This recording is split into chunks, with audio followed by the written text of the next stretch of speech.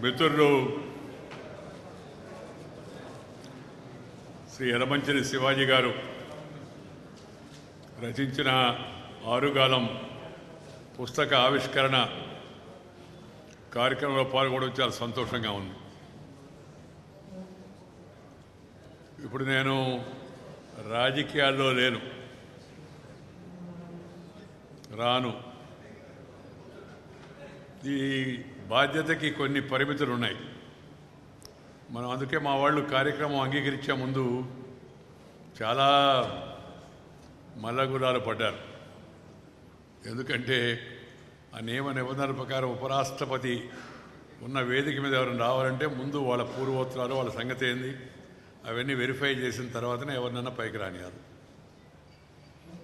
ఒక సంఖ్య ఉంది అంతకన్నా ఎక్కువ మంది కూర్చోకూడదు. సెక్యూరిటీ అది కరెక్టా కాదా ప్రొసీజర్ వేరే కానీ ప్రొసీజర్ ప్రొసీజరే. అందుకని అందరూ అన్యతా భావించవద్దు. నాకు అసలు జనం మధ్యలోనే ఉండాలనే కోరిక. జనంతో ఉండాలనే కోరిక. జనంతో తిరగాలనే కోరిక. కానీ ఆ బాధ్యతకు ఆ పదవికి ఉన్నటి యొక్క నియమ నిబంధనలను మనం పాటించడం కూడా చాలా అవసరం. నేను ఉపరాష్ట్రపతి అయిన తర్వాత రైతులకి ఉపరాష్ట్రపతి నివాసాన్ని ఓపెన్ చేసి రైతులందరినీ రమ్మనండి. అంటే మా వాళ్ళు చెప్పారు ఒక ఐదు మందిని అలవ చేస్తాం సార్. ఐదు వందల ఐదు మంది ఏందయ్యా? ఐదు వందల మంది అయినా సార్ అలవ చేయండి అన్న అమ్మో ఇంకేంటి సార్? అన్నారు. అందరూ వచ్చారు. వాళ్ళు అన్నారు ఒక పదిహేను నిమిషాలు గడపండి నేను నేను రెండు గంటల సేపు గడిపాను వాళ్ళతో. ఈ వ్యవస్థలో ఇప్పటి వరకు వచ్చిన పద్ధతి పరంపరలో దీనికి కొన్ని పరిమితులు పెట్టారు. అందుకని దయచేసి అందరూ దాన్ని అర్థం చేసుకోవాలని కోరుతున్నా. ఈ ఫోటోగ్రాఫర్లు కూడా తీసిన ఫోటోలు చాలు. వీళ్ళు దయచేసి మేము స్థానాలు కూర్చోండి. అందరూ కూడా ప్లీజ్ సెల్ ఫోన్ ఉన్న వాళ్ళందరూ ఒకసారి దయచేసి ఫోన్ ఆపండి. కాస్త విరామం ఇవ్వండి. అది మన జీవన శైలిలో మన సంస్కృతిలో మన సంస్కారంలో ఒక భాగం కావాలి. ఫోను ఎవరితో కలవడానికి వెళ్ళేటప్పుడు ఏదైనా సమావేశానికి వెళ్ళేటప్పుడు ఫోను ఆపి లోపలికి వెళ్ళాలి. అది పద్ధతి సభకు హుందాతనాన్ని గౌరవం కూడా తెస్తుంది. శ్రీ ఎలమంచిలి శివాజీ నాకు చిరకాల మిత్రుడు. అలుపెరుగని పోరాట యోధుడు.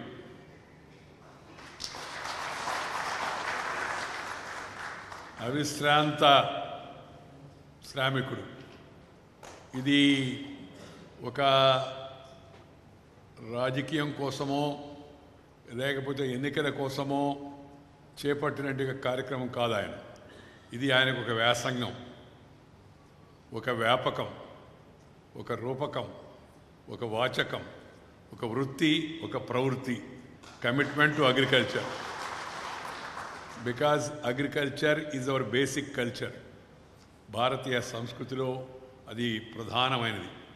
ఇప్పటికీ కూడా పట్టణాల వైపు వరుస వెళ్ళే వాళ్ళ సంఖ్య బాగా పెరిగినా ఇంకా అరవై ఐదు శాతం మంది వ్యవసాయం పైన వ్యవసాయ అనుబంధ వృత్తులపైన ఆధారపడిన దేశంలో వ్యవసాయానికి చాలా ప్రాధాన్యత ఇవ్వాల్సి ఉంది. దురదృష్టవశాత్తు స్వతంత్రం వచ్చిన తర్వాత నుంచి కూడా మనం వ్యవసాయానికి లభించవలసినంత ప్రాధాన్యత లభించవలసిన గుర్తింపు శ్రద్ధ కనపరచలేదనే విషయం వాస్తవం. ఇది ఎవరినో విమర్శించడం కోసం ఈ పార్టీ ఆ పార్టీ కోసం కాదు. ఇప్పుడు ఆ నా పని కూడా అది కాదు. దానివల్ల పరిష్కారం కూడా కాదు. ఎందుకంటే అన్నిటికన్నా సులభమైంది ఖర్చు లేనిది విమర్శించడం. అసలు ఏం ఖర్చు ఉండదు దానికి. నోటి ఖర్చు తప్పితే. కానీ నిర్మాణాత్మక ఆలోచన రేకెత్తింపజేయడం అది అందరం చేయవలసిన పని. శ్రీ శివాజీ ఆ విషయాన్ని గుర్తించి రైతుల యొక్క కష్ట నష్టాలను వ్యవసాయానికి ఉండే ఇబ్బందులను వాటన్నిటిని ఎప్పటికప్పుడు వ్యాసంగం ద్వారా పత్రికల్లో ప్రచురింపజేసే కార్యక్రమాన్ని చేపట్టాడు దాన్ని కొనసాగిస్తున్నాడు కొనసాగిస్తాడు కూడా.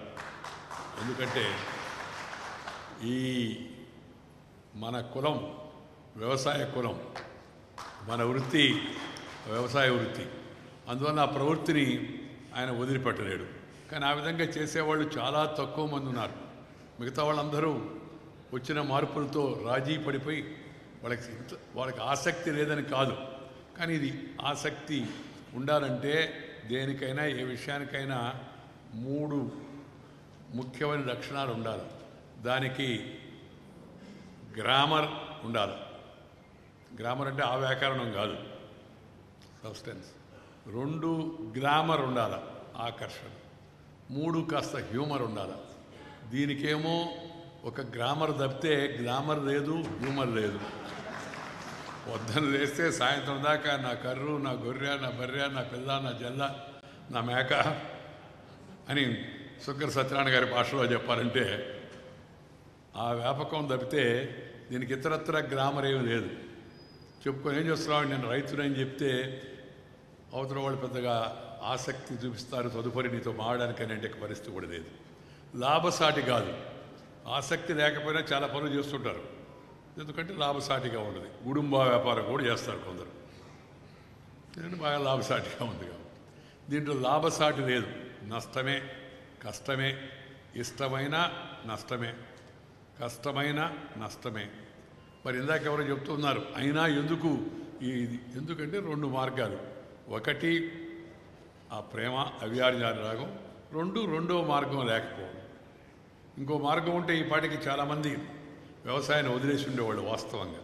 అంత పరిస్థితిలో ఉంది. ఈ దేశంలో ఉన్నట్టు యొక్క planning commission parliament political parties press ఇవన్నీ పీదు planning commission parliament political parties press. ఇవి నాలుగు కూడా దృష్టిని స్వతంత్రం వచ్చిన తర్వాత ఎక్కువగా పట్టణాల వైపు ఎక్కువగా సంఘటితమైన శక్తుల వైపు వ్యక్తుల వైపు ఎక్కువ దృష్టి మళ్ళించాయి అంటే వ్యవసాయాన్ని పూర్తిగా విస్మరించారని నేను చెప్పడం కాదు. కానీ ఎంత ప్రాధాన్యత దానికి లభించాల్సి ఉందో అంత ప్రాధాన్యత లభించలేదు. ఇది చాలా విచారకరమైన విషయం. అందుకని ఇవాళ ఈ పరిస్థితికి వ్యవసాయం వచ్చింది. దానితో పాటు ప్రకృతి కూడా వికృతిగా మారి రైతాంగం పట్ల శాపంగా పరిణమిస్తూ ఉంది. అది కూడా చాలా పెద్ద సవాలు వ్యవసాయ రంగం. మూడవది మార్కెట్ డైనమిక్స్ అవుతున్నాయో అవి వ్యవసాయానికి అనుకూలంగా లేవు. మిగతా అవన్నీ మార్కెట్ని బట్టి వీడి డిమాండ్ అండ్ సప్లై అవన్నీ ఉంటాయి. ఇక్కడ వేరే మార్గాంతరం లేదు. ఐదవది తగిన సమాచారం కూడా లేదు. ఇవన్నీ ఉన్నప్పటికి కూడా భారతీయ రైతులకు the present of India they need to be saluted ఈ దేశంలో హరిత విప్లవాన్ని తీసుకొచ్చి గ్రీన్ రెవల్యూషన్ తీసుకొచ్చి ఇవాళ ఒకప్పుడు పిఎల్ ఫోర్ ఎయిటీ మీద మనం ఆధారపడ్డాం. అమెరికా వాళ్ళు ఏదో ఆహార ధాన్యాలు ఇస్తే. ఇవాళ దేశంలో తగినంత ఆహార ధాన్యాలు ఉత్పత్తి చేయడమే కాకుండా మిగులు అయిపోయి ఎక్కడ ఏ గోడౌన్లో పెట్టాలంటే గోడౌన్లు కూడా ఖాళీ లేని పరిస్థితిని తీసుకొచ్చారంటే ఇన్ని కష్టాలకు ఇన్ని నష్టాలకు ఇన్ని బాధలకు ఇన్ని ఇబ్బందులకు ఎదురవుతున్నా కూడా రైతులు వాళ్ళకి మనం అంతా కూడా జేజేలు పలకాల్సిన అవసరం ఒకప్పుడు సమస్య కొరత. ఇది కొరత అది కొరత ఇది కొరత. ఇప్పుడు సమస్య మిగులు. From shortage now the problem is problem of plenty problem of plenty ఈ పరిస్థితిని ఎదుర్కోవడం కోసం ప్రభుత్వాలు మన వ్యవస్థ కొత్త వ్యూహాలను రూపొందించవలసి ఉంది.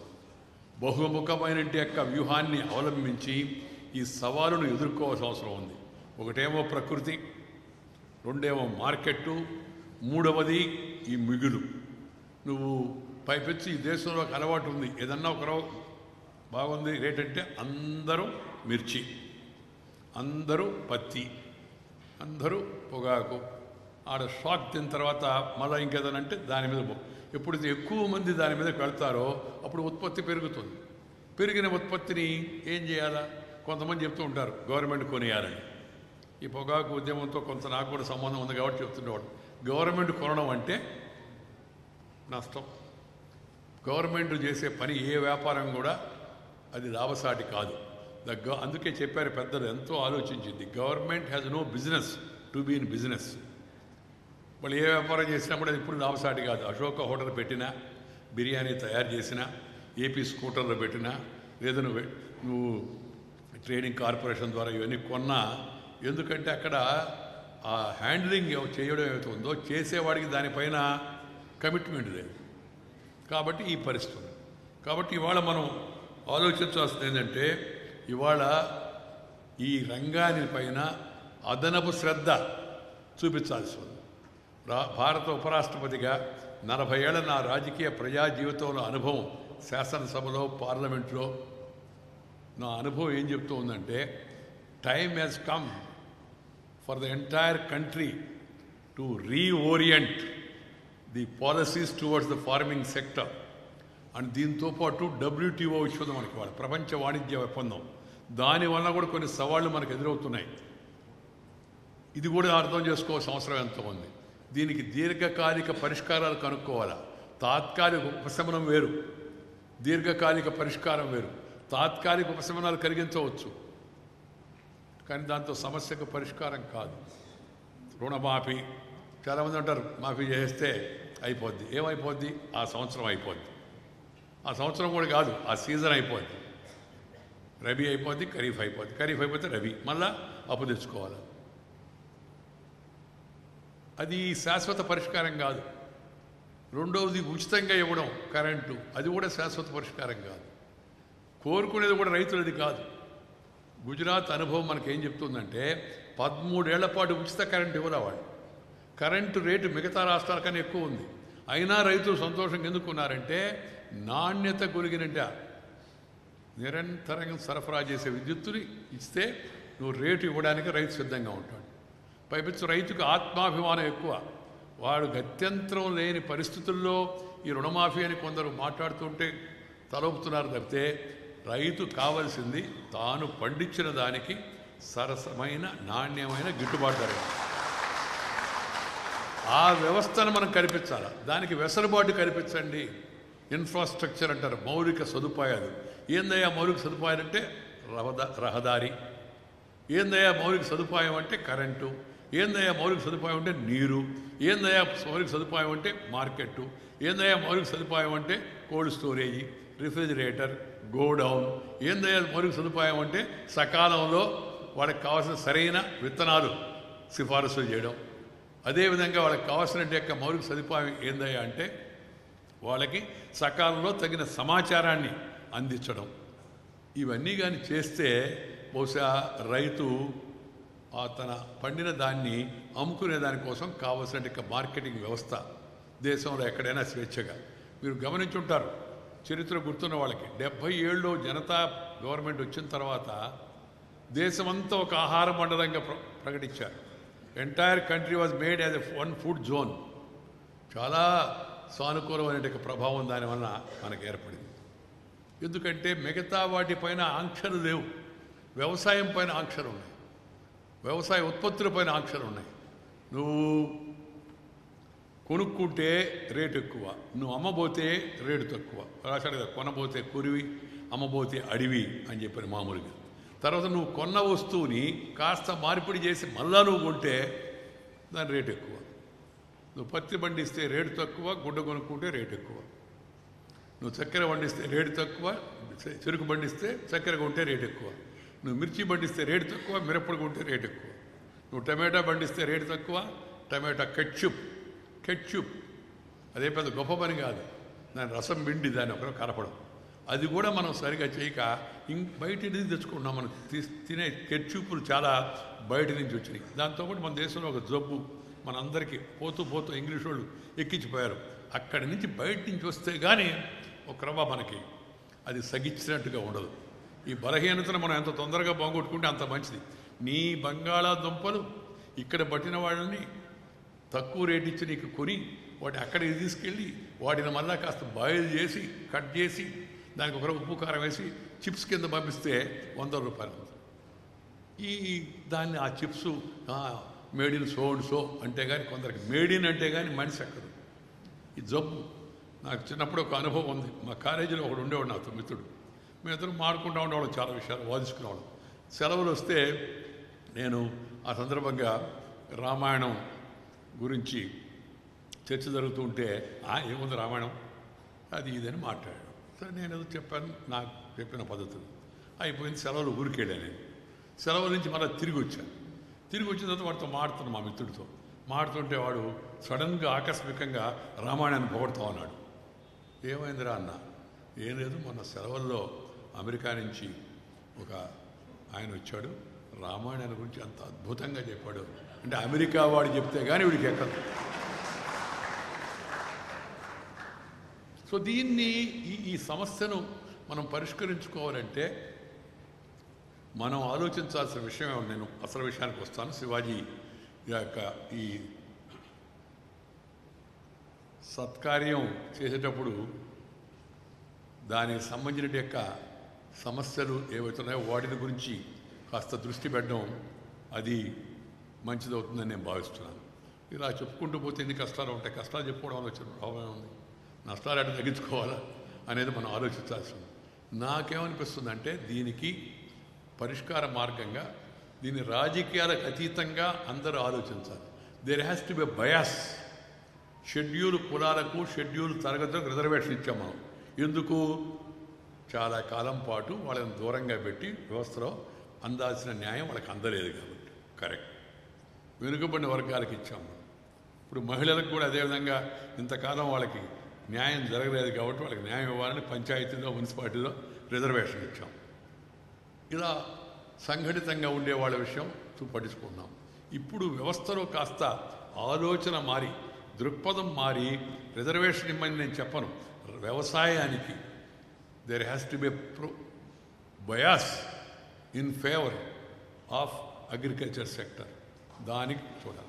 చేయాలంటే అంత సులభం కాదు. మనం అడగొచ్చు అపోజిషన్ ఉన్నప్పుడు నేను అడుగుతాం అది మాఫీ చేయి ఇది మాఫీ చేయి అది మాఫీ చేయాలి కాదు ఇంత రేటు కాదు అదేంది రేటు? మొన్న చరిత్రాత్మకంగా మినిమం సపోర్ట్ ప్రైస్ పెంచారు. అది సరిపోద్దని అన్నాం. కానీ పెంచిన మాట వాస్తవం కదా చరిత్రాత్మకంగా. మనం దాన్ని సుమ సు- సులభంగా విమర్శించేయవచ్చు లేదా ప్రభుత్వం పెట్టిన స్కీమును కూడా మనం విమర్శించవచ్చు. కానీ మనం న్యాయం చేయాలంటే విషయాన్ని రాజకీయం చేయకుండా దాని పరిష్కార మార్గాలు ఏతున్నాయో అవి తెచ్చేందుకు ప్రభుత్వాలపైన వ్యవస్థ పైన మార్పు తేవాలి. లేవాలంటే ముందు మైండ్లో మార్పు రావాలి. Main today I want to highlight this point on the occasion of Shivaji's book release. Main point ఏంటంటే వ్యవసాయం సంఘటితంగా లేదు ఆర్గనైజ్డ్గా లేదు యూనియన్గా లేదు పెట్టినా సరే రైతు సంఘాలు పది మంది పెట్టుకుంటారు. అక్కడనే మొదలవుతుంది రెండవది దానికి గ్లామర్ లేదు. మీడియా దానికి ఎక్కువ ఫోకస్ చేయదు. వ్యవసాయం పైన. ఇంకా మూడవది టర్మ్స్ ఆఫ్ ట్రేడ్ మనకు అనుకూలంగా లేవు. నాలుగవది ప్రకృతి. ఇవన్నీ ఉన్నప్పుడు దీనిని దృష్టి పెట్టాల్సి ఉంది లేకపోతే జరిగేది ఏంటంటే జనం స్లోగా వ్యవసాయం వదిలిపెడుతున్నారు. ఇష్టం లేక కాదు. కష్టమని కాదు. నష్టం అవుతుంది. తట్టుకోలేక. నేను చెప్తూ ఉంటాను. రాజకీయ నాయకుడు తన కొడుకుని రాజకీయ నాయకుడు చేద్దామని చూస్తాడు. వాడికి శక్తి ఉన్నా లేకపోయినా. సరిగా మాట్లాడలేకపోయినా. డాక్టరు కొడుకును డాక్టర్ చేయాలని టీచర్ కొడుకును టీచర్ చేయాలని యాక్టరు కొడుకుని యాక్టర్ చేయాలని మొహం సరిగా లేకపోయినా సరే. చూస్తున్నాం మనం. ఇప్పుడు నేను చెప్తున్నాన్ని ఇవి అతిశయోక్తులు కాదు. ఇవన్నీ వాస్తవాలు జీవన సత్యాలు. కానీ రైతు తన కొడుకు రైతు కావాలని కోరుకోవడం కారణం ఏంటి? వ్యవసాయం లాభసాటిగా లేదు. అందుకని దాన్ని ఎట్ట లాభసాటి చేయాలా? దానికి అధిక ప్రాధాన్యత ఇవ్వాలి? సమస్య ఏంటంటే అవతల పక్క నువ్వు ఉత్పత్తి చేసిన ప్రతి వస్తువు వాడకందారులు ఎవరైతే ఉన్నారో వినిమయదారులు ఎవరైతే ఉన్నారో వాళ్ళ సంఖ్య ఎక్కువగా ఉంటుంది. వాళ్ళు ఓకల్గా ఉంటారు. నువ్వు ప్రొడ్యూసర్ ఏమో సైలెంట్గా ఉంటున్నాడు కాబట్టి లేదా వైలెంట్ అయ్యాడు అనుకోండి సమస్యకు పరిష్కారం కాదు. సంఘటితం కావాల్సింది. దీన్ని మనం దృష్టిలో పెట్టుకొని ఒక పని ఏం చేయాలంటే సమాజ ఆలోచనలో మార్పు రావాలి. ఏమని? ఒకరు నిన్న నిన్న మినిమం సపోర్ట్ ప్రైజ్ ప్రభుత్వం పెంచింది కదా. మీరు దేశంలో ప్రముఖ పత్రికలు చూడండి. ఇది సరైన ఆలోచన కాదు.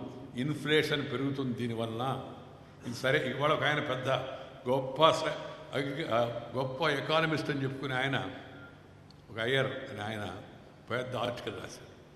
దిస్ ఈజ్ బ్యాడ్ ఎకనామిక్స్ ఈ విధంగా చేయడం అవుతుందో ఇట్స్ ఎ బ్యాడ్ ఎకనామిక్స్ అని ఒక ఆర్టికల్ రాశాడు I was surprised I was surprised ఏమైపోతుందో వ్యవస్థ అంతా కూడా చూడండి అని చెప్పని. ఎప్పుడైతే కన్జ్యూమర్స్కి ఒక్కరవ కష్టమైతే కన్జ్యూమర్స్ గురించి అందరం ఆలోచిస్తాం. పార్లమెంట్ మాట్లాడింది పత్రికలు మాట్లాడతాయి రాజకీయ పార్టీలు మాట్లాడతారు అందరూ గొడవ గొడవ చేస్తారు. అది పెరిగింది ఇది పెరిగింది. ఈ ఉత్పత్తి చేసేవాడికి నష్టం వస్తే ఎందుకు అదే స్థాయిలో అందరం స్పందించడం లేదు? అందుకని నేనేమంటానంటే మన ఆలోచనలో మన దృక్పథంలో మార్పు ఏం రావాలంటే we have to protect the interest of consumers undoubtedly but at the same time you have to take care of the producers also ఉత్పత్తిదారుల ప్రయోజనాలు వినియోగదారుల ప్రయోజనాలు రెండింటిని దృష్టిలో పెట్టుకొని నిర్ణయించాలి. ఆయన రేటు పెరిగితే ఇదైపోద్దండి ఓట్లు పోతాయండి లేకపోతే ఇదే ఇదైపోతుంది చక్కెర ఆరోగ్యానికి మంచిది కాదు. అయినా సరే చక్కెర ధర పెరిగిందని కూడా గొడవ చేస్తాం మనం అంతా. కానీ రేటు పడిపోతే ఆ స్థాయిలో ఎందుకు రాజకీయ పార్టీలు ఎందుకు వ్యవస్థ స్పందించడం లేదు? విమర్శించడం కోసం కాదు నేను చెప్పేది. మనం ఆలోచించుకొని ఆ ఆలోచన దృక్పథంలో వాళ్ళకి నష్టం కలుగు వాడు ఉత్పత్తి చేయకపోతే నువ్వు తర్వాత చేసేది ఏంది? నువ్వు చేసేది ఏంది? విదేశాలను దిగుమతి చేసుకోవాలి. A country like India with hundred and thirty crore population నూట ముప్పై కోట్ల జనాభా ఉన్న భారతదేశం ఆహార ధాన్యాల దిగుమతి పైన ఆహార రక్షణ కల్పించలేదు. You cannot withstand or sustain on imported food security you cannot sustain for such a huge population మన దుబాయ్ కాదు సింగపూర్ కాదు దుబాయ్లో ఏం పండదు. అయినా అన్నీ ఉంటాయి ఆడ. ఒరిదేది వాళ్ళకి. ఇంగ్లాండ్లో కూడా దాదాపు ఎక్కువ భాగం అదే. కానీ మన దేశంలో పండ ఈ పండగ పోతే ఎండగే ఎందుకు? ఇంత పెద్ద పాపులేషన్. సో ఈ పాపులేషన్కు సరిపడేటువంటి యొక్క ఆహార ధాన్యాల ఉత్పత్తి కొనసాగుతూ ఉండాలి. నేను ఇందాక చెప్పానే ఎక్కువ మంది కానీ రంగాన్ని వదిలేస్తే ఆ ప్రమాదం రాబోతుంది. వస్తుంది ప్రస్తుతం సర్ప్లస్లో ఉన్నాం మనం. సర్ప్లస్లో ఉన్నాం మనం. అందుకని దీన్ని ఆలోచించి we have to reorient our policies we have to show bias to the agriculture sector to sustain it in the larger interest of the country దేశ విశాల ప్రయోజనాల దృష్ట్యా వ్యవసాయాన్ని కాపాడుకోవాల్సి ఉంది.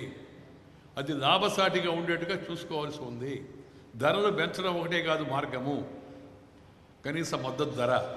ఇంకొక తప్పుడు అభిప్రాయం కూడా చాలామందికి ఈ మద్దతు ధర అంటే యాక్చువల్గా మార్కెట్లో రేటు దానికన్నా ఎక్కువ ఉంది కదా సార్ అంటారు. ఈ మద్దతు ధర అనేది ఎందుకు వచ్చింది తెలుసా? ఈ మద్దతు ధర అనేది మార్కెట్లో కానీ ధర పడిపోతే ఇంతకన్నా పడిపోకుండా పడిపోతే గవర్నమెంట్ జోక్యం చేసుకొని కొంటది. అది కనీస మద్దతు ధర. అంతేగాని అసలు ధర కాదు.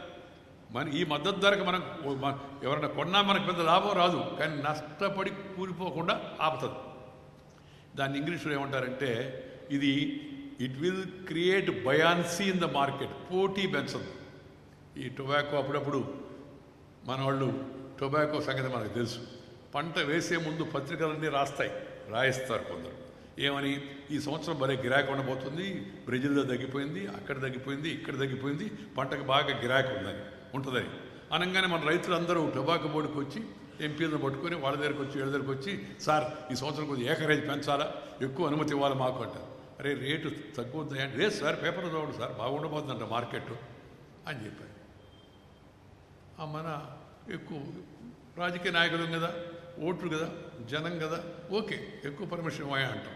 వాళ్ళు అధికారులు చెప్తుంటారు ఎక్స్పర్ట్లు చెప్తుంటారు వద్దు సార్ దెబ్బతింటారు అవును పెంచేస్తారు.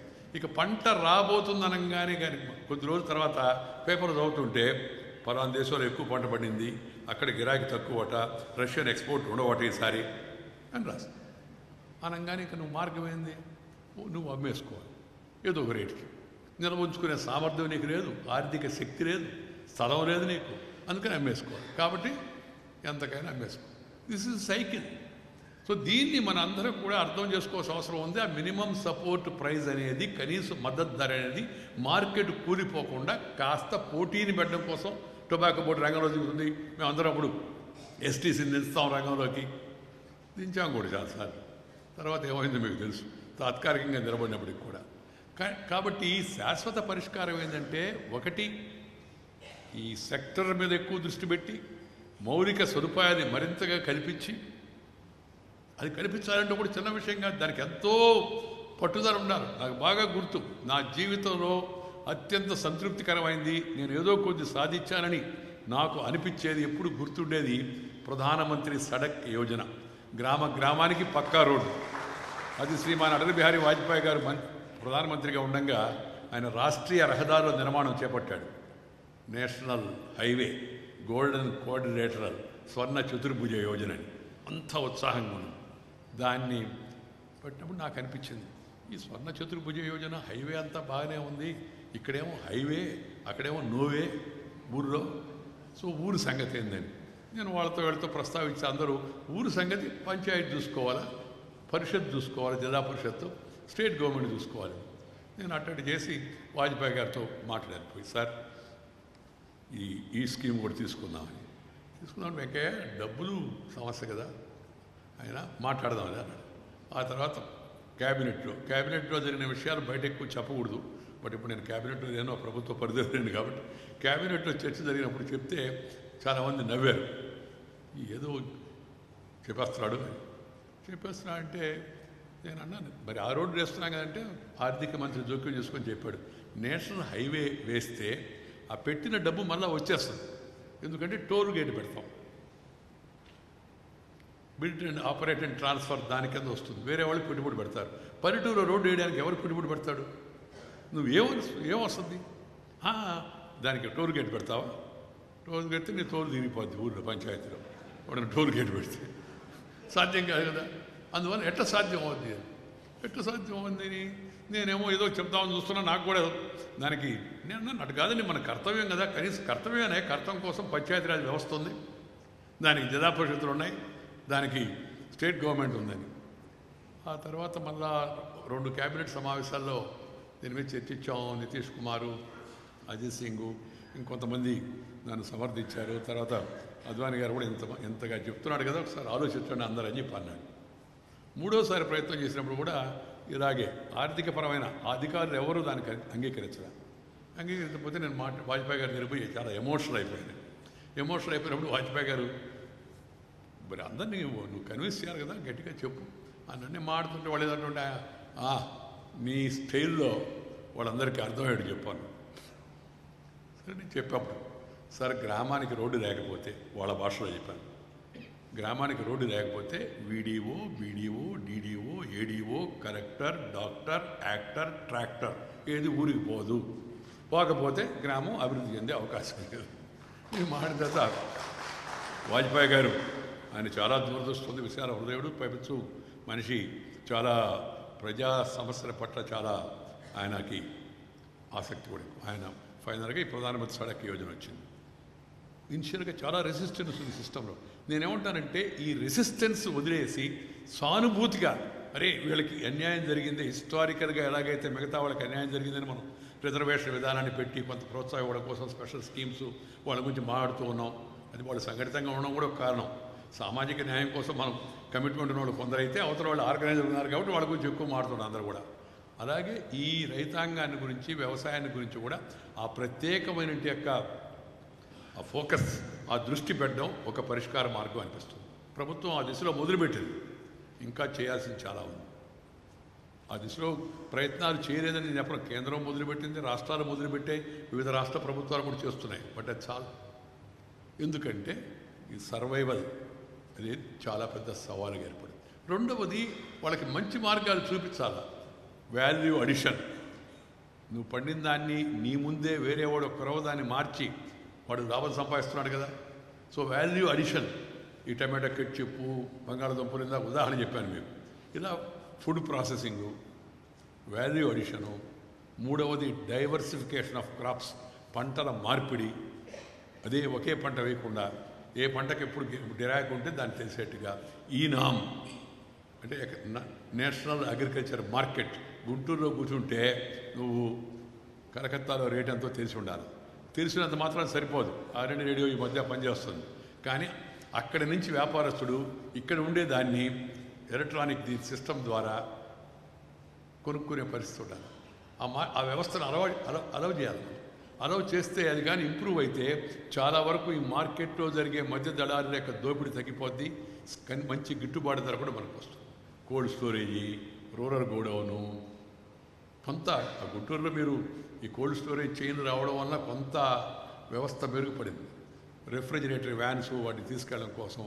అదేవిధంగా టైమ్లీ క్రెడిట్ పదకొండు వేల కోట్ల పదకొండు లక్షల కోట్లు బ్యాంకులు అప్పులుగా ఇస్తున్నాయి రైతులకి. అయినా చాలు. ఎందుకంటే నేను ఇందాక చెప్పా కదా అరవై ఐదు శాతం ఉన్న రైతులకి ఇంకా పెంచాల్సి ఉంది టైమ్లీ అఫోర్డబుల్ రీజనబుల్ క్రెడిట్ అంటారు దాన్ని. అది కూడా చాలా అవసరం వ్యవసాయం దానిపైన కూడా దృష్టి పెట్టాల్సి ఉంది. ఎందుకంటే మనకి లెక్కల ప్రకారం నూటికి నలభై శాతం మందికి మాత్రమే ఇన్స్టిట్యూషన్ ద్వారా లోన్ వస్తుంది. మిగతా వాళ్ళందరూ ప్రైవేట్ వడ్డీ వ్యాపారస్తులు తీసుకెళ్తున్నారు. వడ్డీ తెచ్చుకున్నారు సో దాన్ని గమనించి పదకొండు లక్షల కోట్లు కాబట్టి ఇంకా ఎక్కువ పెట్టాల్సి పెట్టినప్పుడు రైతు ప్రైవేటు వడ్డీ వ్యాపారస్తుల దగ్గర పోకుండా ఉండే పరిస్థితి కనిపించాలి. దీనికి major shift in policy in attitude in programme in financial system అవసరం. నేను ఇందాక చెప్పాను అందుకని ఆ బయాస్ మళ్ళా రివర్స్ బయాస్ స్టార్ట్ అయితే తప్పితే మనం పాజిటివ్ బయాస్ స్టార్ట్ అయితే తప్పితే అది అంత సులభంగా అయ్యేటంటే పని కూడా కాదు. దీంతో పాటు ఇన్సూరెన్స్. మిగతా వాటన్నిటికీ ఇన్సూరెన్స్ పాపులర్గా ఉంది. దీనికి ఇన్సూరెన్స్ పెడితే మనం ప్రీమియం రేట్ ఎక్కువ ఉంటే ఇన్సూరెన్స్ రైతు కట్టుకోలేడు. సో ఎక్కువ మంది ఇన్సూరెన్స్ కవర్ రావడం. ఆ వచ్చిన ఇన్సూరెన్స్ అయిన తర్వాత మన దాకా పద్ధతి ఏంటంటే నువ్వు ఇన్సూరెన్స్ చేస్తే ఎవరికైనా లాభం అంటే బ్యాంక్ వాడు వడ్డీకి నీకు ఇస్తే వాడి కానీ పంట నష్టం వస్తే ముందు వాడు తీసుకుంటున్నాడు. అండ్ అందుకే చాలామంది చెప్తారు ఇది ఈ ఇన్సూరెన్స్ అగ్రికల్చర్ ఇన్సూరెన్స్ కాదు ఇది లోన్ ఇన్సూరెన్స్ అని. దాన్ని మారుస్తున్నారు మార్చారు. ఇంకా చాలా రాడికల్గా ఇన్సూరెన్స్ సిస్టమ్ని మార్పు చేయాల్సిన అవసరం ఎంత ఉంది. కొన్ని రంగాల్లో పెట్టుబడి పెట్టినంత రిటర్న్స్ రావని ప్రభుత్వానికి తెలుసు అయినా పెడుతుంది ప్రయారిటీ సెక్టార్ కింద.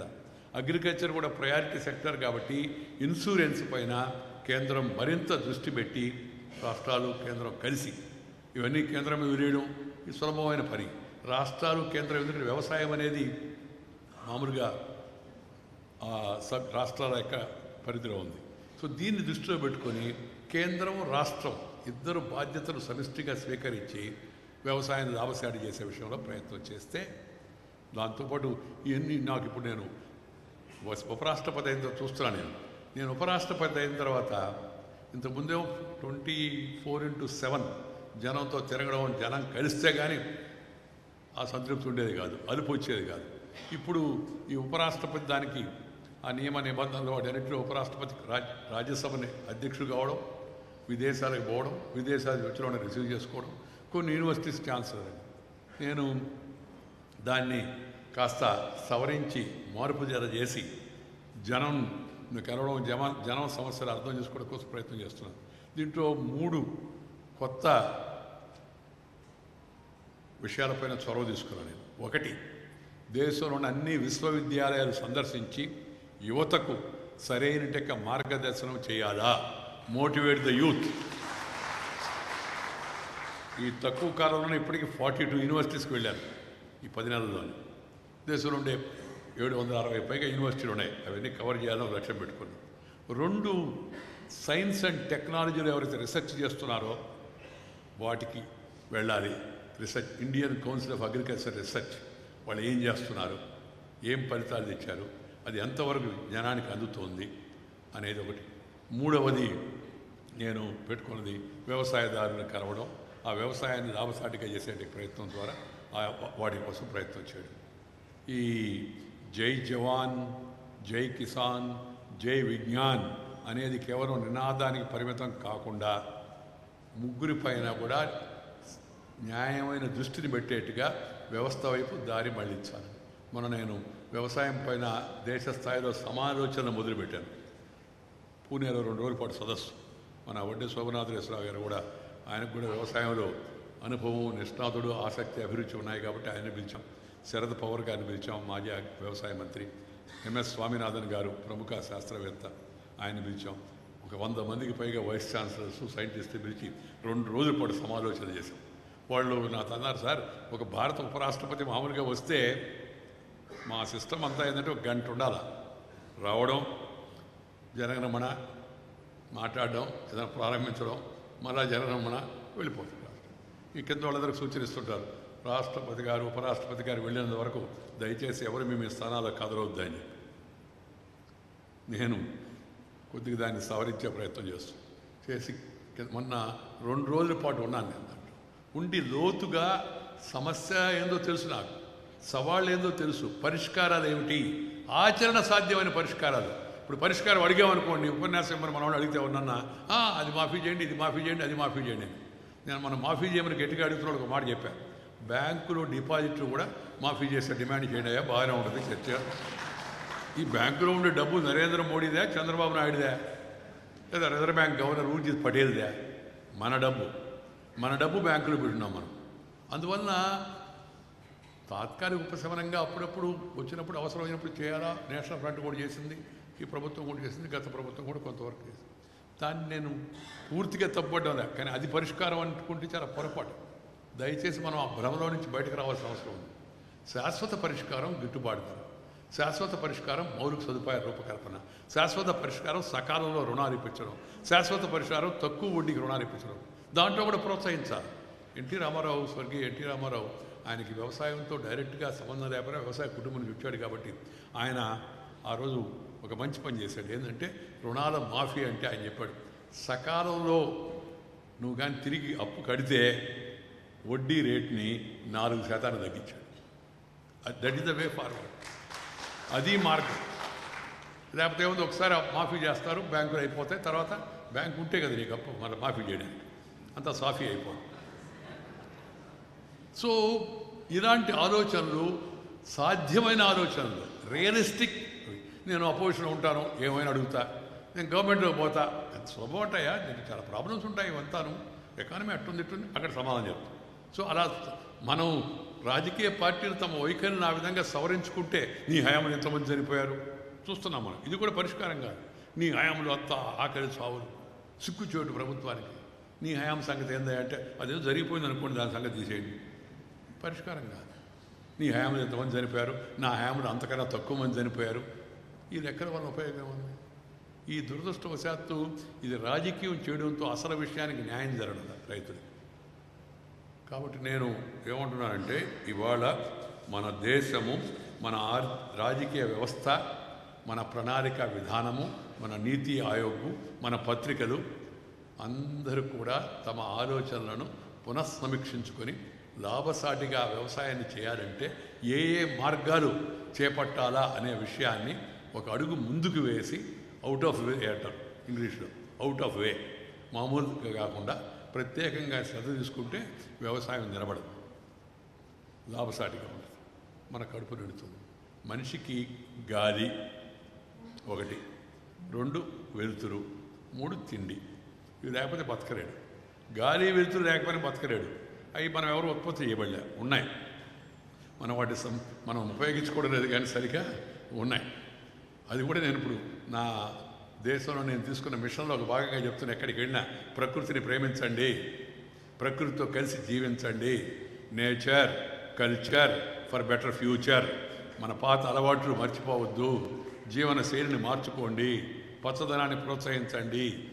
మా ఆవిడ నిన్న శ్రీలంకకు పోయి వచ్చింది. అని చెప్తే అద్భుతం! ఎక్కడికి పోయినా అంత పచ్చంగా ఉంది. ఎక్కడికి పోయినా అంత అడవులుగా ఉన్నాయి. ఎంత బాగుందో కళ్ళకి ఆనందంగా ఉందండి మనం ఉన్న అడవులన్నీ విజయవంతంగా మొత్తం తీసేసి. నరికేసి. పాత ఇప్పుడు కొత్తగా చెట్లు వేస్తున్నాం. అవి పెద్ద ఎదురికి ఎన్ని సంవత్సరాలు పడుతుంది మనం చెప్పలేము అనుకో బట్ ఏది ఏమైనప్పటికీ కూడా ఒక్కసారి ఆత్మావలోకనం చేసుకొని మన ఆర్థిక విధానాలను కూడా సమీక్షించుకొని వ్యవసాయానికి పెద్ద పీట వేయాల్సి ఉంది. మాటలతో కాదు. ఆ పని పెద్ద ఎత్తున జరిగితే వ్యవసాయం రక్షించబడుతుంది. ఇవాళ ఈ శివాజీ చేసేట రచనలు ఈ పుస్తకం పుస్తకాల వల్ల ఏంటంటే పుస్తకంలో ఉంటే రేపు మస్తకంలోకి ఎక్కుతుంది.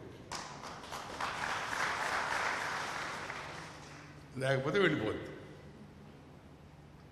వినడమే కాదు. విన్న తర్వాత చదివితే అది బాగా జీర్ణం అవుతుంది విన్నది పూర్తిగా జీర్ణం కావచ్చు కాకపోవచ్చు. అందుకని పుస్తక రచన పుస్తక రచన వ్యాసంగము ఆ బుక్ ఫేర్ పెడతా ఉంటే కూడా మన విజయ్ కుమార్ వాళ్ళు వచ్చి అడిగితే కూడా నేను అందుకే ఒప్పుకొని వచ్చాను. కార్యక్రమం చూడడానికి చిన్నదైనప్పటికి కూడా. ఎందుకంటే పుస్తక పఠనం అనేది మనకు బాగా అలవాటు చేయాలి ఇంకా ఎక్కువగా అలవాటు చేయాల్సి ఉంది. పై పైనే చూడడం అలవాటు అయిపోయింది అందరికీ. పై పైనే వినడం హెడ్ లైన్ చదవడం హెడ్ లైన్ చదివితే మెయిన్ లైన్ అర్థం కాదు నీకు. Headline cannot be deadline కాబట్టి పూర్తిగా చదువుకోవాలి విజ్ఞానాన్ని పెంచుకోవాలి కొత్త విషయాలు తెలుసుకోవాలి. దానికి ఇలాంటి రచయితలు ముఖ్యంగా వ్యవసాయం పైన దృష్టి పెట్టి రచనలు చేయడం దేనికైతే గ్రామర్ లేదో హ్యూమర్ లేదో అయినా కూడా చేయాలంటే దానికి ప్యాషన్ ఉండాలి. ప్యాషన్ ఉండాలి. ఆ ప్యాషన్ శివాజీ గారి దగ్గర నిండుగా మెండుగా ఉంది. ఈ ఆరుగాలం పుస్తకం ద్వారా రైతు రుణం తీర్చుకునే ప్రయత్నం ఆయన చేస్తున్నాడు. అందుకు నేను మన అందరి తరఫున దేశం తరఫున శ్రీ ఎలమచ్చల శివాజీని హృదయపూర్వకంగా అభినందిస్తున్నాను చెప్పి ఈ ఈ దేశంలో కూడా వ్యవసాయం కోసం మొదటి నుంచి ఆచార్య రంగా గారు సర్దార్ పటేల్ గారు లేకపోతే మన తర్వాత వాళ్ళు వచ్చిన వాళ్ళు చరణ్ సింగ్ గారు ఇంకా అనేక మంది వాళ్ళు పట్టుదలతో కొంతవరకు కృషి చేశారు. కానీ ఆ ఫలితాలను పూర్తిగా చూడకుండానే వాళ్ళు వెళ్ళిపోయారు. ఎందుకంటే ఈ ఆకర్షణీయంగా లేని ఈ రంగాన్ని ఆకర్షణీయంగా చేయాలంటే దాని పట్ల ఆసక్తిని పెంచాలంటే దాని ప్రాధాన్యత తెలిపేంటి యొక్క రచనలు మనకు అవసరం. ఒకటి. రెండవది ప్యాషన్ అవసరం. ప్రభుత్వానికి ఆ చిత్తశుద్ధి కూడా అవసరం. ఈ రంగానికి. కాబట్టి ఈ వందల తొంభై నాలుగులో రంగ గారు ఈ రాసిన ముందు మాట మేరీ పరుగు పేరుతో ఆరుగాలం పుస్తకానికి ఆయన మటుకం మకుటంగా నిలిపారు. ఆయన వాటి కోట్ చేస్తూ అంతా కూడా రైతు పరిస్థితుల్లో మార్పులతో పాటు గ్రామీణాభివృద్ధి రైతుకు ఎలాంటి ప్రయోజనాలు ఇస్తుందనే అంశాన్ని ఆయన ప్రస్తావించారు. ఒక్క విషయం చూడండి. మన పెద్ద నాయకులు ఎంత గొప్పవాళ్ళు అంటే గాంధీ గారు స్వతంత్రం వచ్చిన తర్వాత రెండు సలహాలు చెప్పాడు. ఒక సలహా రాజకీయమైంది. దాని విస్తారంగా నేను మాట్లాడను. మొదటి సలహా ఏం చెప్పాడంటే డిస్బ్యాండ్ కాంగ్రెస్ అన్నాడు. ఈ కాంగ్రెస్ని మూసేయండి అన్నాడు. ఎందుకంటే కాంగ్రెస్ అనేది ఒక రాజకీయ పార్టీ కాదు. కాంగ్రెస్ అనేది ఒక వేదిక ప్లాట్ఫామ్. అందరూ ఉన్నారు దాంట్లో. అన్ని భావజాలం ఉన్న వాళ్ళందరూ దాంట్లో ఉన్నారు. స్వతంత్రం కోసం ఏర్పాటైన వేదిక అది. స్వతంత్రం వచ్చింది. అందుకని డిస్బ్యాండ్ చేయండి అన్న పెద్దవాళ్ళు వెళ్దా దాని గురించి నేను ఇప్పుడు చర్చించదలుచుకోలేదు మన సందర్భంగా. రెండో సలహా ఏం చెప్పాడంటే ఆయన బ్యాక్ టు విలేజెస్ అన్నాడు. గ్రామాలకు మరలండి మన వాళ్ళు దే హ్ shown their back and move towards towns దానివల్ల ఈ సమస్య అంతా వచ్చింది. ఆయన మాట కానీ వినుంటే అంటే అలా అని నేను పారిశ్రామికీకరణను పట్టణ ఇలా పెరుగుదలను నేను వ్యతిరేకించడం లేదు. పారిశ్రామికీకరణ కూడా అవసరం. వ్యవసాయము పరిశ్రమ ఈ రెండు మనిషికి రెండు కళ లాంటివి. ఒక కన్నుతో ఉంటే అది సరిగ్గా సమగ్ర దృష్టి ఉండదు నీకు. అందుకని రెండింటిని రక్షించుకోవాల్సి ఉంది రెండింటికి ప్రాధాన్యత ఇవ్వాల్సి ఉంది. వ్యవసాయానికి ప్రకృతి సంబంధమైన యొక్క కొన్ని పరిమితులు బలహీనతలు ఉన్నాయి. పరిశ్రమకు కొన్ని మార్కెట్ కండిషన్స్ వలన కొన్ని అడ్వాంటేజ్లు ఉన్నాయి. అందుకని అది ముందుకు వెళుతూ ఉంది. గట్టిగా మాట్లాడి పోట్లాడి సాధించుకుంటుంది రిఫార్మ్స్ వస్తున్నాయి దానికి కావాల్సిన విధంగా ప్రోత్సాహాలు వస్తున్నాయి. అందుకన్న అలా అని పరిశ్రమను తక్కువ చేయకూడదు. పరిశ్రమ ఉండాలి వ్యవసాయం ఉండాలి. పరిశ్రమ ఉండి మనం ఆదాయాన్ని పెంచుకోవాలి. ఆదాయాన్ని పెంచుకుంటే తర్వాత పంచుకోవచ్చు. కానీ మన మిత్రులు కొంతమంది ఆ మధ్య అలాంటి భావజాలం అంతా పంచాలా పంచాలా పెంచాలని పంచాలంటే పెంచాలి కదా. పెంచకుండా పంచితే పంచి మాత్రం మిగులుతుంది. అది కూడా మిగులుతుందని గ్యారంటీ లేదు. అది కూడా మిగులుతుందని గ్యారంటీ లేదు. అందుకని పెంచాలా దేశం ఉత్పత్తిని పెంచాలి ఆస్తిని పెంచాలి సంపదను పెంచాలి ఆ తర్వాత పంచాలి. మొత్తం మాటలు భరిస్తే ఏమవుతుంది? అందుకని ఈ రెండు కూడా చాలా ముఖ్యమే. నేను దాన్ని ఏమాత్రం తక్కువ చేసి చూపించడం లే. దాని terms of trade market conditions policies nature దానికి కొంత సహాయం చేస్తుంది పరిశ్రమకి. బట్ వ్యవసాయానికి ప్రత్యేకమైన దృష్టి ప్రిఫరెన్షియల్ ట్రీట్మెంట్ ఎందుకు ఇవ్వాలని చెప్పి అంటున్నానంటే అది మన మనుగడికి మానవాళికి మనుగడికి ప్రధానమైన యొక్క ఆధారభూతం అన్నం. అన్నం పరబ్రహ్మ స్వరూపంలాగా దాన్ని అన్నం పెట్టాలంటే అన్నం పెట్టే చేతులకు మనం తగినంత బలాన్ని ఊతాన్ని ఇవ్వాల్సటికి అవసరం ఎంతో ఉంది. ఈ దృష్ట్యా అందరూ ఆలోచించాలని చెప్పి నేను చూ- చూస్తున్నా. పాత రోజుల్లో సినిమాలు కూడా వ్యవసాయం మీద వచ్చాయి. ఇప్పుడు వ్యవసాయం మీద పెద్ద సినిమాలు రావడం పాత రోజుల్లో. పల్లెటూరు మీద సినిమా వచ్చేది. ఇప్పుడు దాని గురించి కూడా పెద్దగా ఎవరు పట్టించుకోవడం అది తీస్తే కూడా నడుస్తుందని నమ్మకం లేదు అని సినిమా ట్రెండే మారిపోయింది అనుకోండి. ఈ ప్రచార ప్రసార సాధనాలు కూడా వ్యవసాయం పైన గ్రామం పైన తగినంత ఫోకస్ చేయాల్సి ఉంది. నేను నా సొంత అనుభవం చెప్తాను.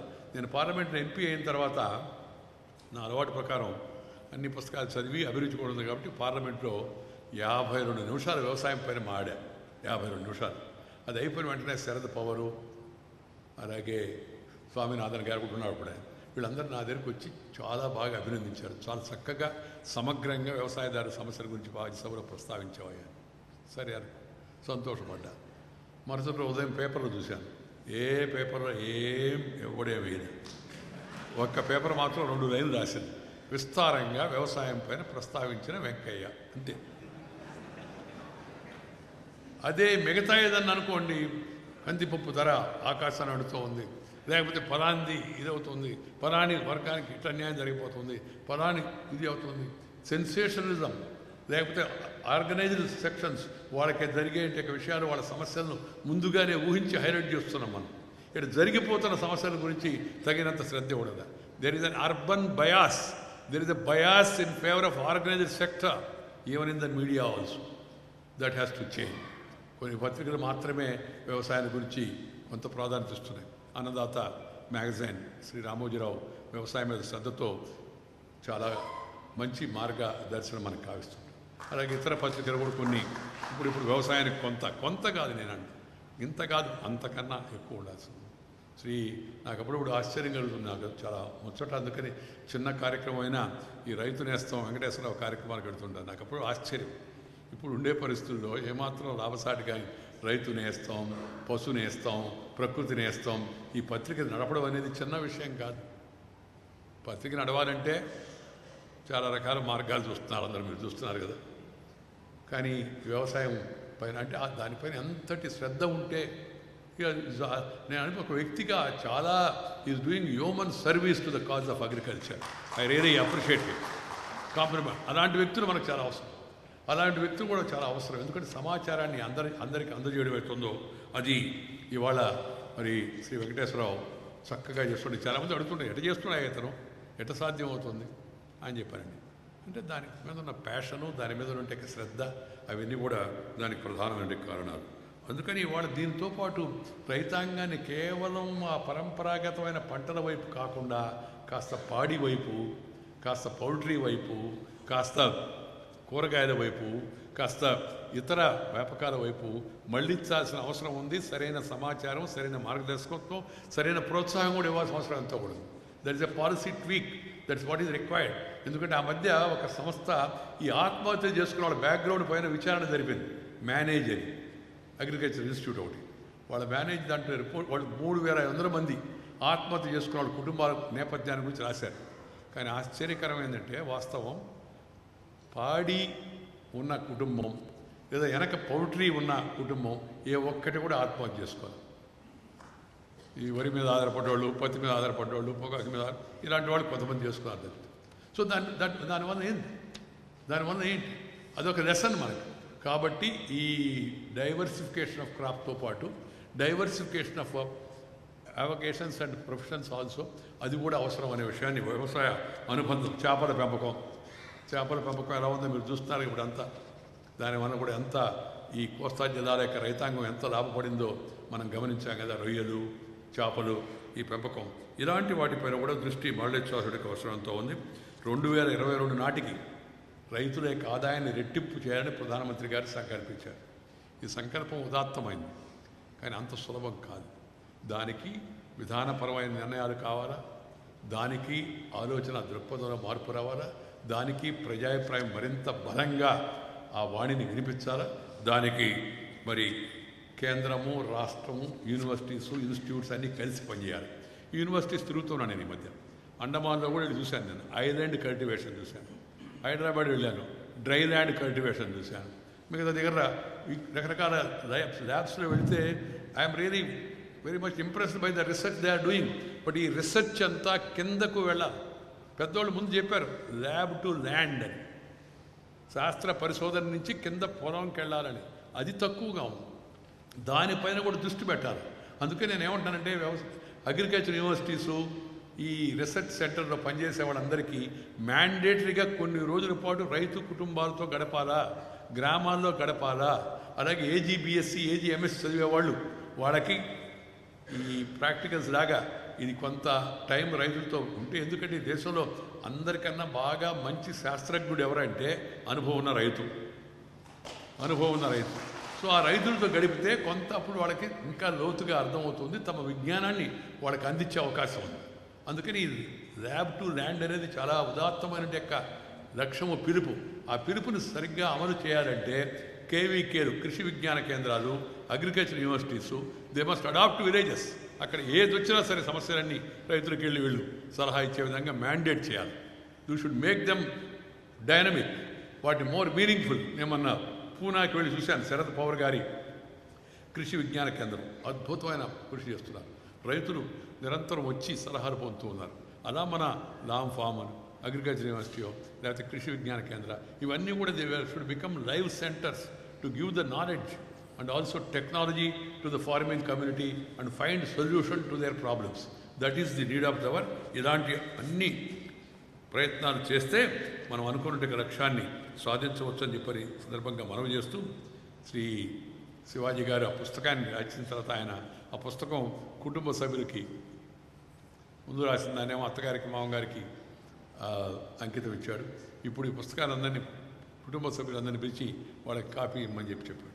ఎందుకనంటే మీ అందరికి కూడా తెలుసు ఈ రాజకీయాల్లో ఉన్నవాళ్ళు ఇలాంటి వ్యాసంగాలు ఉన్నవాళ్ళు ఎక్కువగా కుటుంబాలని పట్టించుకోరు. శివాజీ లాంటి వాళ్ళు అసలు పట్టించుకోరు నాలాంటి వాళ్ళు.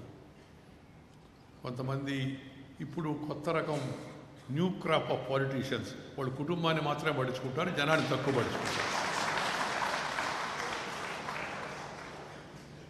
We're seeing the vast difference పాత రోజుల్లో మనం చూసినట్టుగా రాజకీయ తత్వం పట్టించుకునేవాడు కాదు. అందువల్ల వా కనీసం ఒక గుర్తింపుగా వాళ్ళు ఆయనకు అందించిన సహకారానికి ఆయన పడుతున్న శ్రమ గురించి ఆ అమ్మాయి పాపం ఏదో చెప్దామని వచ్చింది ఇందాక వాళ్ళ అమ్మాయి. ఇప్పుడు తక్కువ మాటలోనే అర్థమయ్యేట్టుగా చెప్పింది మనందరికీ అర్థమయ్యేట్టుగా ఆలోచింపజేసేట్టుగా. మా అమ్మాయి కూడా అప్పుడప్పుడు కాస్త మాట్లాడుతున్నప్పుడు మా నాన్న అప్పుడప్పుడు మా ఇంటికి కూడా వస్తుంటాడని చెప్పి చెప్తుండేది. దాంట్లో ఒక సందేశం ఉంది సటిల్ మెసేజ్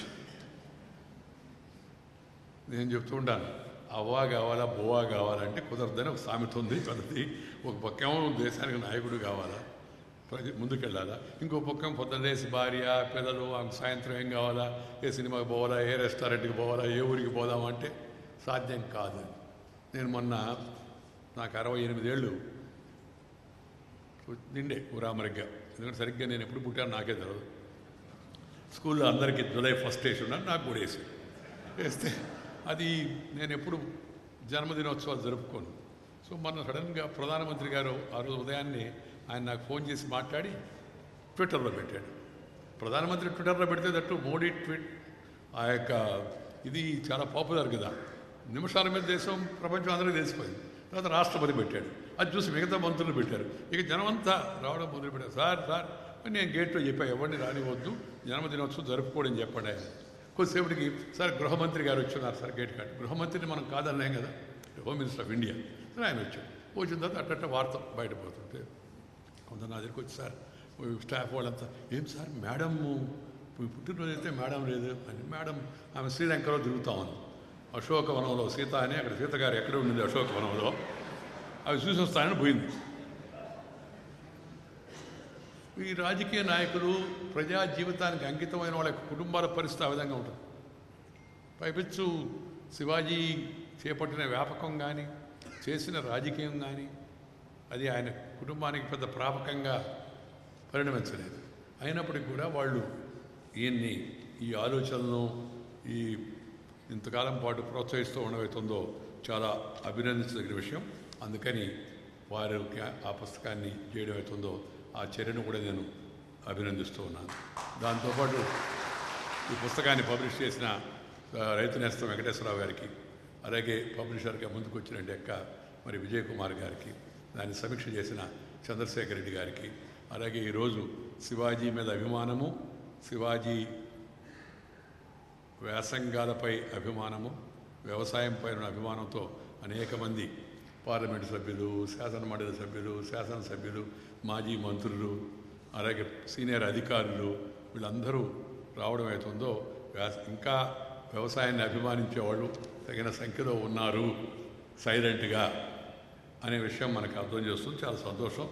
వాళ్ళందరినీ కూడా నేను హృదయపూర్వకంగా అభినందిస్తూ ఉన్నాను. ఈ వ్యవసాయాన్ని రాబోయే రోజుల్లో ఈ బహుముఖమైన యొక్క వ్యూహాల ద్వారా ఆచరణ సాధ్యమైన యొక్క పరిష్కారాలను కనుక్కునేందుకు ప్రభుత్వాలు ప్రయత్నం చేయాలా? నేను భారత ఉపరాష్ట్రపతిగా నా వంతు నేను వ్యవసాయం పైన దృష్టి ఉండేట్టుగా అటు పార్లమెంటుకి ఇటు ప్రభుత్వానికి అటు వ్యవస్థకు ఇటు పత్రికలకు కూడా ఎప్పటికప్పుడు తగిన సూచనలు సలహాలు నేను చేస్తూనే ఉంటానని చెప్పని ఈ సందర్భంగా మీ అందరికీ మనం చేస్తూ మీ దగ్గర సెలవు తీసుకుని నమస్కారం. ధన్యవాదాలు. జై హింద్.